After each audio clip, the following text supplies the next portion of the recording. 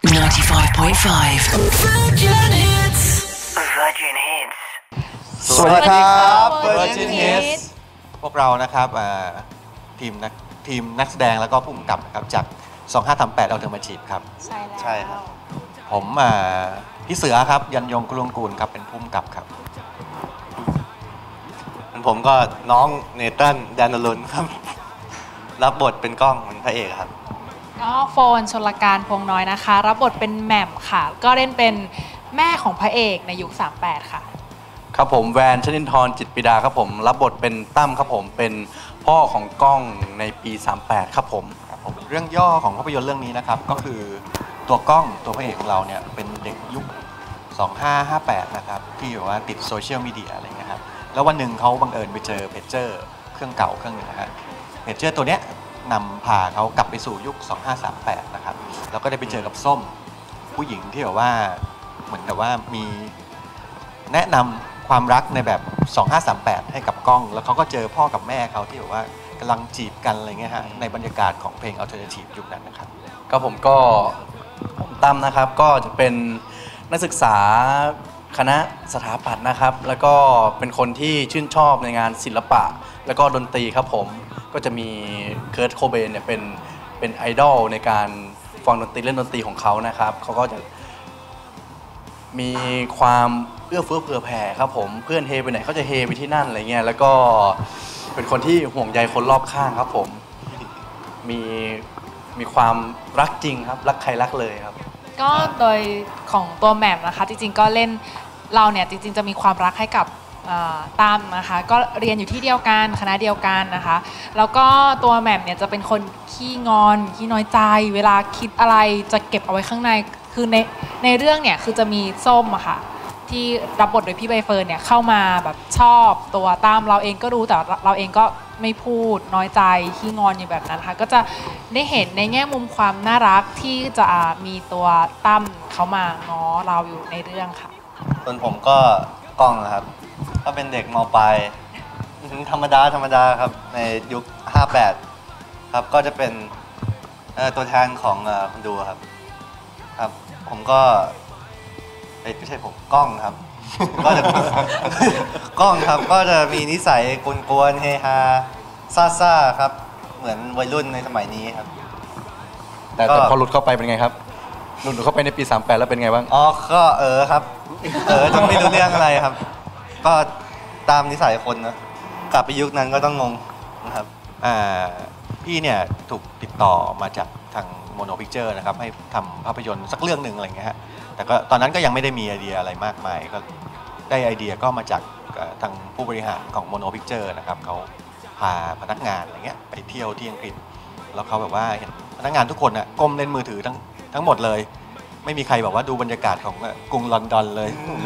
ออกจะสวยงามแต่เป็นเล่นมือถือ สังคมก้มหน้าก็เลยใช่ไหมก็เลยเอาไอเดียนี้โยนมาให้ที่ที่พี่ก็เลยแบบว่า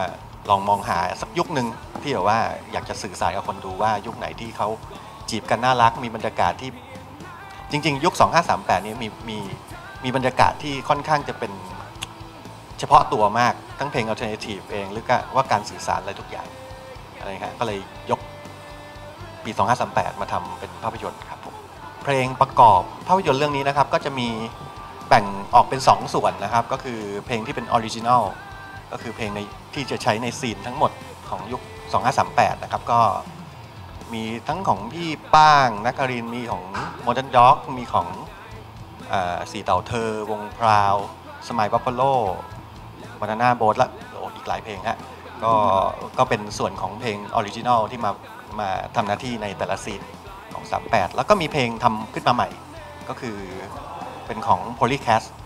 ที่เอาเพลงพี่มัตหรือมัตนะครับ องศาที่ต่างกันมาทำแล้วก็มีเพลงของ Ebola ครับ ก็คือเพลงแล้วเธอ original จะเป็นของพี่อรอรีย์แล้วอีกเพลงหนึ่งก็พิเศษที่สุดนะครับ ก็คือเป็นเพลงที่ต้องใช้ใน scene scene หนึ่งในภาพยนตร์ในยุค 2538 แต่ว่าจะถูกเขียนขึ้นมาใหม่ โดยให้น้องใบเฟิร์นเป็นคนร้องเองเลย ก็พี่ใบเฟิร์นนะครับก็รับบทเป็นส้มนะครับครับพี่ใบเฟิร์นในฉากก็